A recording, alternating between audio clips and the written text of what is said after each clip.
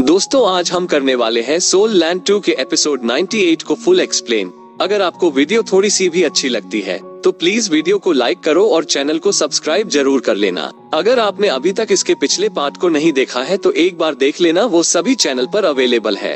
Episode की शुरुआत होती है और हमें वीना की सिस्टर को दिखाते हैं, जो कहती है कि वीना क्या तुम ठीक हो? तो वीना कहती है, चिंता मत करो, सौभाग्य से उस ट्राईपॉड ने मुझे बाल बाल मरने से बचा, लिया था। और सीओ सीओ सिस्टम मुझे बचाने के लिए आपका बहुत बहुत धन्यवाद। और तभी हुआ युहाओ को स्काई ड्रीम से एक मैसेज मिलता है, और वो कहता है, युहाओ, चलो चले, यहाँ पर एक तुम्हारे लिए काफ़ी सूटेबल सोल बीस्ट है, और जहाँ पर तुम लोग पहले बैटल कर रहे थे, वो जगह उसके काफ़ी पास ही है, और वहाँ पर करीब दो पावरफुल बीस्ट है, और मेरा प्लान तुम्हें एक हज़ार ईयर कल्टिवेशन से ज़्यादा वाले की रिंग दिलाने का है। तो हुआ युहाओ स्काई ड्रीम से चौंकते हुए कहता है, क्या तुम मज़ाक कर रहे हो? इस पर स्काई ड्रीम खुश होते हुए कहता है, अब जब ये ब्रदर तुम्हारे साथ है तो सभी तरह के चमत्कार हो सकते हैं। तो हुआ युहाओ कहता है तो क्या मुझे ये समझना चाहिए कि मैं एक एक लाख ईयर स्पिरिट बीस्ट को अपना सकता हूँ?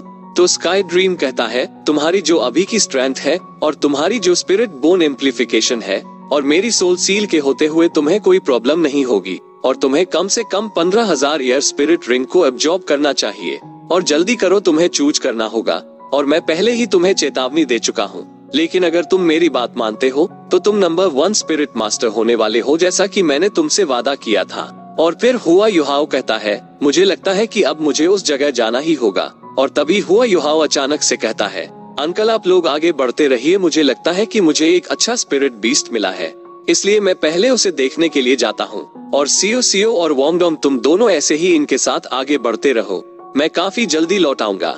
और इतना कहते ही यह अचानक से यहाँ से डिसअपेयर हो जाता है, और यह एक बारी वापस से अपना किसी भी तरीके का सुराग नहीं छोड़ता है, और जो एक चीज़ पीछे रह जाती है वो सिर्फ़ अचंभित लोगों का झुंड होता है, और इन लोगों की नज़रों के सामने से जो हुआ युहाव डिसअपेयर हो रहा था, वो तो बस इसका एक इल्यूजन था, जबकि यह तो फॉरेस्ट के पेड़ों के भेस में आ गया होता है और यह स्काई ड्रीम के बताए अनुसार काफ़ी तेज़ी से मूव करता है। और फिर हुआ युहाओ कहता है, क्या शैन मेरी टीम को ढूंढ लेंगे? और मैं अपने आप को उस ओल्ड मैन से छिपा नहीं सकता हूँ। और क्या सच में मुझे ये करने की ज़रूरत है? तो स्काई ड्रीम कहता है, ओ अच्छा वो शैन उसे तो मैंने ढूंढ लिया है। और हमारी उससे काफ़ी जल्द ही मुलाकात होने वाली है। और इसकी इस बात को सुन के हुआ युहाओ काफ़ी चौक जाता है।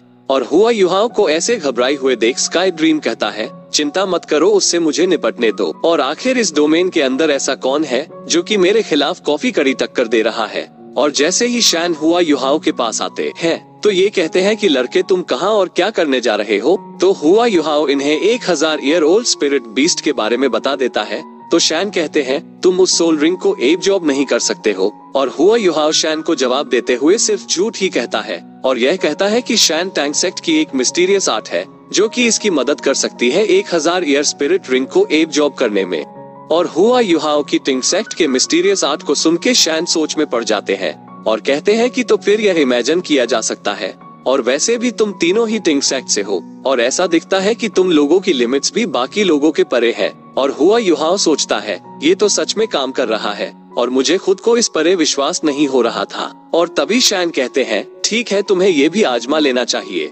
वैसे भी तुम्हारे लिए एक सूटेबल स्पिरिट रिंग को ढूंढना काफ़ी मुश्किल है, और मैं तुम्हें समझ सकता हूँ, और शैन यहाँ से जाते हुए कहता है, यहीं पर छिपे रहना, और मैं पहले जाके सीओ सीओ और वोंगडोंग से मिलता हूँ, और देखता हूँ कि वह कैसे है, और इनके यहाँ से जाते ही हुआ युहाव राहत की सांस लेता है, क्योंकि यह काफ़ी ज़्यादा डर गया। फिर यह एक ट्री का रूप ले लेता है, और शैन के लौट के आने तक का इंतज़ार करता है, तभी हुआ युहाव कहता है, मुझे काफ़ी बुरी सी फीलिंग आ रही है, और यह अच्छा बिल्कुल भी नहीं हो रहा है। जो वो सोल बीस्ट है, वो मेरी तरफ़ आ रहे हैं। और फिर हमें उस जगह को दिखाया जाता है, जहाँ पर युहाओ छिपा हुआ है, जिसकी तरफ़ एक बीस्ट धूल उड़ाता हुआ जा रहा है।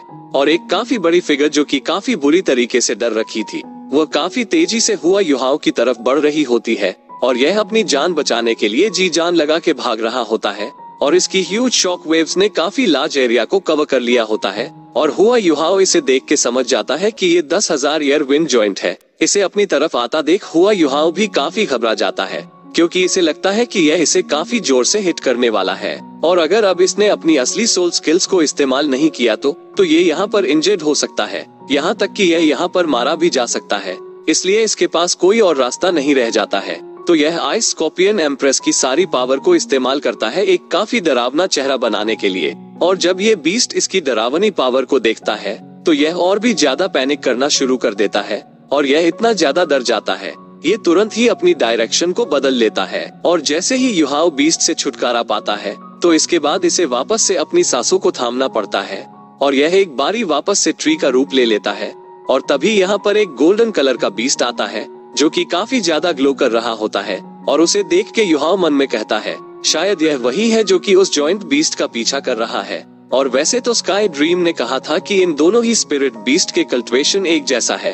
तो फिर कैसे सेम कल्टिवेशन वाला स्पिरिट बीस्ट जॉइंट बीस्ट को इतना ज़्यादा कैसे से डरा सकता है? और फिर हमें हुआ युहाओ की कॉन्शियसनेस के अंदर का सीन दिखाया जाता है, जहाँ पर आइस स्कॉर्पियन एम्पर गुस्से के मारे आग बबूला हो रही होती है। तो आइस एम्पर गुस्से में आके स्काई ड्रीम की कॉलर पकड़ लेती है, और उस पर चिल्लाते हुए कहती है कि क्या तुम हम सभी को ही मारना चाहते हो? और स्काई ड्रीम, अब तुम मुझसे ये तो मत कह देना कि तुमने इसे ही चूज़ किया है युहाओ की थर्ड स्पिरिट रिंग के लिए। तो स्काई ड्रीम घबराते हुए कहता है माफ़ करना, लेकिन ये थियोरेटिकली हुआ युहाओ के लिए पॉसिबल है, और ताकाशी स्पिरिट बीस्ट का नाम है, और फिर आइस एम्पर गुस्से से कहती है, आखिर तुम क्या सोच रहे थे कि वो एक एम्पर स्पिरिट बीस्ट है, और अगर तुम उसे मार देते हो तो जितने भी spirit beast star do forest के अंदर रहते हैं, वो सभी ही हमारा पीछा करेंगे, और क्या तुम्हें ये लगता है कि हम इतने ज़्यादा स्ट्रांग हैं जो हम उनसे बच के ज़िंदा जा पाएँगे?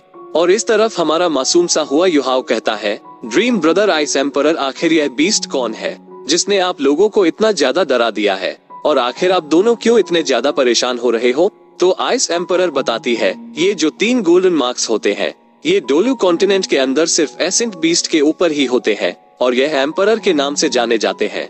और यह वह जगह है जहाँ पर तुम एक स्पिरिट रिंग को दुगनी आसानी से, और तो और दुगने रिज़ल्ट के साथ हासिल कर सकते हो, और सभी ही स्पिरिट बीस्ट को इसका परिणाम मिलता है।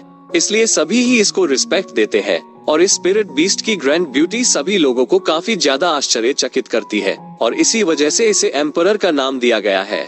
और आइस एम्पर की इस बात को सुन के युहाव काफ़ी ज़्यादा सा जाता है और कहता है कि ड्रीम ब्रदर तुम मुझसे तो यह मत कहना कि तुमने इस स्पिरिट बीस्ट को मेरे लिए चूज़ किया है। और यहाँ तक कि अब तो मुझे भी विश्वास नहीं है कि यह मैं कर सकता हूँ या नहीं। और इस तरफ़ आइस एम्पर स्काई ड्रीम को पीटते हुए कहती है स्काई ड्रीम क्या यही तुम्हारा गोल था? लगता है कि तुम समय से पहले ही मरना चाहते हो, और यह कहते हुए आइस एम्पर स्काई ड्रीम को कूटने लगती है, और फिर हुआ युहाव राहत की सांस लेते हुए मन में कहता है, सौभाग्य से वो हैंडसेट स्पिरिट बीस्ट हमें ढूंढ नहीं पाया, और तभी यहाँ से कुछ दूरी पर एक काफ़ी ज़्यादा तगड़ा ब्लास्ट होता है, और इस चीज़ को देख के युहाव भी काफ़ी ज़्यादा चौक जाता है। और कहता है कि आखिर वो इतना ज़्यादा पावरफुल अटैक क्या था? और तभी यह उस ब्लास्ट के अंदर से शैन को बाहर निकलता हुआ देखता है। तो युहाव उन्हें देखते हुए कहता है, वह तो शैन है, ये तो काफ़ी बुरा हुआ। और अभी के जो हालात है, उनसे शैन को ऐसा लगा हो कि मैं उन सोल बीस्ट के द्वारा मारा जा चुका हूँ। और उस ताकतवर ट्विन जॉइंट को मारने के लिए इन्हें सिर्फ़ एक सिंगल अटैक करने की ही ज़रूरत पड़ी। और लगता है कि अब शैन उस पावरफुल बीस्ट के ऊपर अटैक करने वाले हैं। लेकिन तभी बीच में एक काफ़ी पावरफुल बीस्ट आ जाता है। जो कि आते ही तुरंत ही शैन के ऊपर अटैक करके उन्हें पीछे धकेल देता है और इस बीस्ट को देख के हुआ युहाव मन में कहता है, सोचना था कि स्टार डू फॉरेस्ट के अंदर रेड लान किंग जैसा कोई बीस्ट भी होगा, और लगता है कि यह यहाँ पर वुल्फ बीस्ट को प्रोटेस्ट करने के लिए आया है। और आइस एम्पर ने बिल्कुल सही कहा था कि वुल्फ बीस्ट फॉरेस्ट का हॉट है, जिसे एक इंक्रेडिबली स्ट्रांग स्पिरिट बीस्ट के द्वारा प्रोटेक्ट किया जाता है। और हम देखते हैं कि इनके बीच के जो क्लैश हो रहे थे, वो काफ़ी ज़्यादा भयानक और भयंकर हो रहे होते हैं। और युहाव शैन के बढ़ते हुए गुस्से को भी देख पा रहा होता है।